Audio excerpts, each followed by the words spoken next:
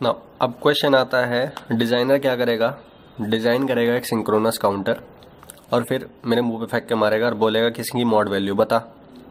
ठीक है? तो उसके लिए प्रोसीजर क्या होगा? बेसिकली वो एक सीक्वेंस लेगा अपने हिसाब से और उस सीक्वेंस के हिसाब से सिंक्रोनस काउंटर डिज़ाइन करेगा। ठीक है? उसने डिज़ाइन कर दे, करके मेरे ऊपर फेंक दिया और बोला कि कितनी डिफरेंट स्टेट इस सिंक्रोनस काउंटर में पॉसिबल है। ठीक है? नो क्या करना होगा? प्रोसीजर है write input and output in the form of a table write the corresponding connection keep some initial default state and make a horizontal line basically सबसे पहले उसने सपोज़ ये सिंक्रोनस काउंटर उसने डिज़ाइन करा।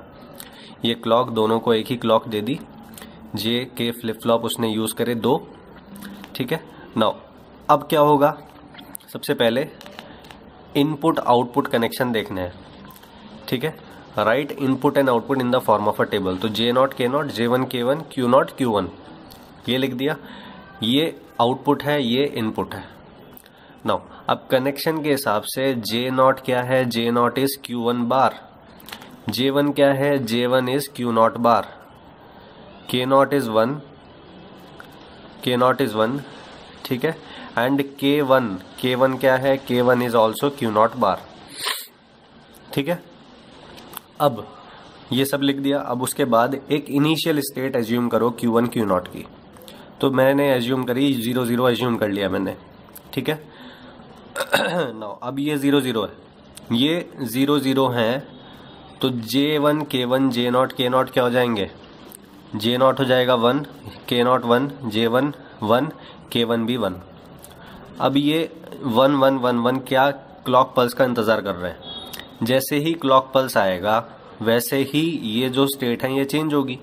J naught K naught is one तो Q not will toggle तो ये one होके आ गया।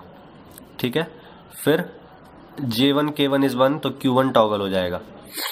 नाउ ये वन वन अब बैठ गया। क्यू वन क्यू नॉट पे क्यू नॉट क्यू वन पे वन वन बैठा हुआ है। अब उसके हिसाब से J naught K naught J one K one क्या हो जाएँगे? ज़ीरो वन ज़ीरो वन ठीक है? इस के अकॉर्डिंग ठीक है? क्यू नॉट है तो Q Q naught Q one देख के के नॉट तो हमेशा वन ही रहेगा। क्यू नॉट बार लिखा, Q naught Q naught bar, J one is Q naught bar, K one is Q naught bar, J naught is Q one bar यहाँ पे लिख दिया। अब ये इनपुट्स रखे हुए हैं क्लॉक पल्स का इंतज़ार कर रहे हैं। जैसे ही क्लॉक पल्स आएगा, ये input Q naught Q one में चेंज करेंगे। तो ज़ीरो वन ज़ीरो वन यानी कि रीसेट तो one becomes zero J one, K one zero zero यानी कि नो चेंज यानी कि वन का वन ही रहेगा।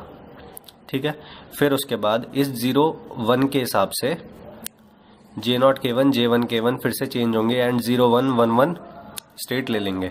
फिर उसके बाद ये इनपुट जो है वो क्लॉक पल्स का इंतज़ार करेंगे और जैसे ही ये वाली क्लॉक पल्स आई, ये इनपुट अपना इफ़ेक्ट दिखाएँगे आउटपुट में। तो ज़ीरो वन यानी कि फिर से रीसेट हुआ तो ज़ीरो का ज़ीरो ही रहेगा। वन वन यानी कि टॉगल यानी कि वन का ज़ीरो बन जाएगा। तो आपने क्या देखा? फिर से वही स्टेट आ गई।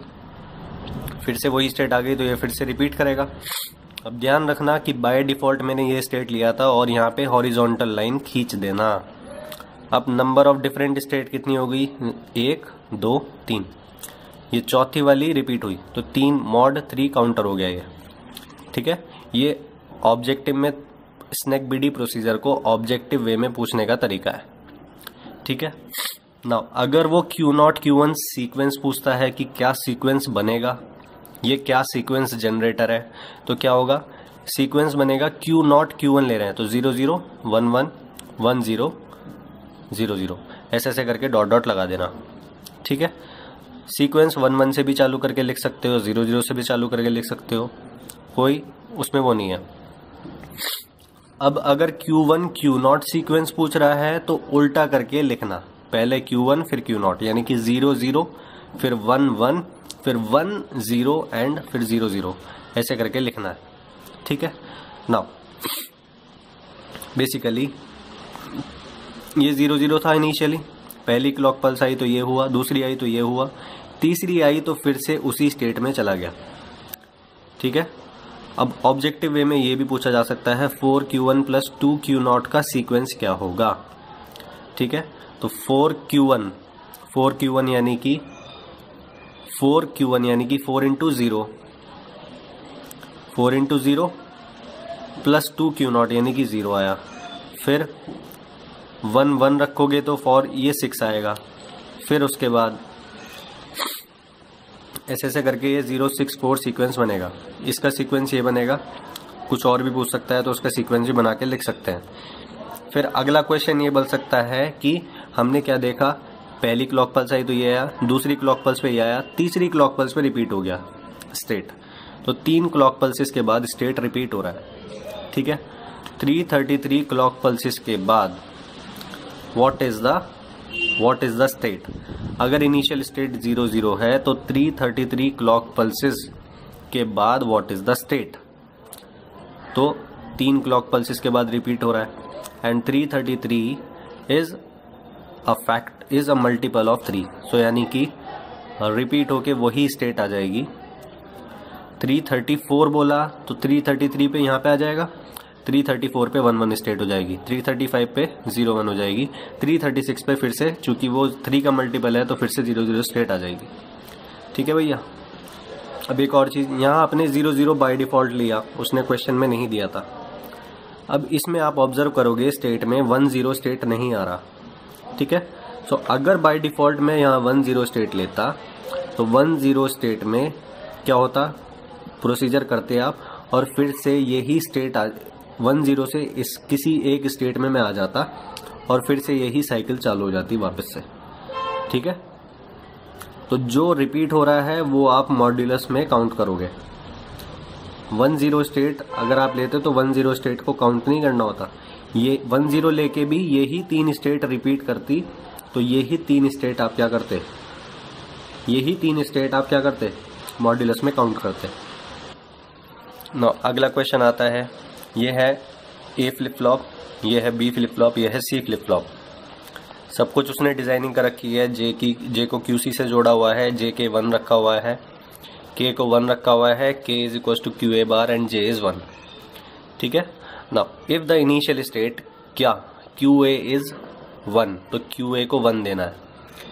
Q B is one and Q C is zero तो यहाँ वन यहाँ वन यहाँ ज़ीरो नहीं लिखना है। वन वन ज़ीरो लिखना है। क्योंकि ए बी सी की स्टेट दी है।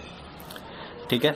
Now Q A Q B Q C one one zero यहाँ पे डैश छोड़ दो। जे ए के ए जे बी के बी जे सी के सी यहाँ डैश छोड़ दो। अब वन वन ज़ीरो के हिसाब से, इन कनेक्शन के हिसाब से, ये क्या हो जाएगा? J A one one zero के हिसाब से यहाँ पे वन वन आएगा, यहाँ ज़ीरो वन, यहाँ वन ज़ीरो। अब जैसे ही क्लॉक पल्स आएगी, ये ये क्या करेंगे? जे के इनपुट्स स्टेट को चेंज करेंगे। तो one one will change one one का मतलब टॉगल होगा। ज़ीरो वन यानी कि क्या होगा? Q B will reset and this is ये सेट होगा। फिर उसके बाद ज़ीरो ज़ीरो वन के हिसाब से इनपुट में क्या बैठ जाएगा? One one one one one one तो सारे टॉगल करेंगे। तो ज़ीरो का वन हो गया ज़ीरो का वन वन का ज़ीरो अब फिर से वन वन ज़ीरो स्टेट आ गई। तो एक क्लॉक पल्स के बाद ये आया दूसरी क्लॉक पल्स के बाद ये आ गया। सो so, कितनी स्टेट्स है डिफरेंट टू स्टेट्स है। So this is modulo two counter ठीक है? Now two clock pulse is required to get back to the same state after two clock pulses default state will repeat once again ठीक है? तो to का कुछ भी multiple देता है टू ट्वेंटी टू देता है तो फिर से रिपीट स्टेट आ जाएगी। टू ट्वेंटी थ्री देता है तो ये वाली स्टेट आएगी ज़ीरो ज़ीरो वन ठीक है? क्या बोला उसने? उसने क्या बोला? Number of clocks required to get get back to the same value कितनी क्लॉक रिक्वायर्ड है? पहली, दूसरी। दूसरी पे आती रिपीट हो गया। छोड़ यहाँ इसका आंसर हो गया टू अब अब फिर से मैं रिपीट पे आ गया. अब रिपीट करने के बाद उसने बोला what will be the current state after two clock pulses further दो क्लॉक पल्स के बाद रिपीट हो गया. फिर से दो अप्लाई करी तो क्या स्टेट आएगी? फिर से दो अप्लाई करी तो फिर से वही स्टेट आ जाएगी. So one one zero will repeat ठीक है?